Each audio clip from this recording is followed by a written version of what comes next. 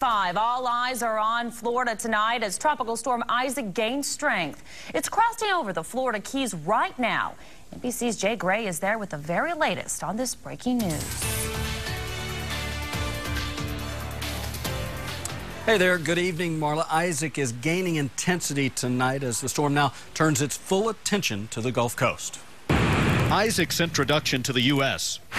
Slashing winds and a driving rain across the Florida Keys and through Miami. Around the state, we've got rain, we've got wind, we've got storm surge, and then we've got the risk of tornadoes. And if the current forecast holds, conditions will only get worse. A large area at risk here, forecasting as strong as Category 2 at landfall. An area that includes New Orleans and southwest Louisiana, which could see the worst of Isaac on Wednesday, seven years to the day after Hurricane Katrina. We are just on high alert.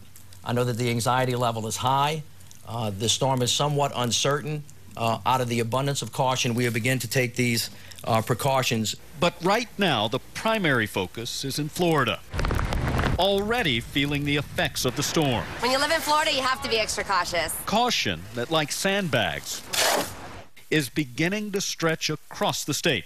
Residents are stocking up and boarding up, bracing for impact. Well, it's my livelihood, and I got to take care of it and protect it. Protection in Tampa includes shifting the event scheduled for Monday's opening of the Republican National Convention back a full day, while the move in the middle of the Gulf will be for a bit longer.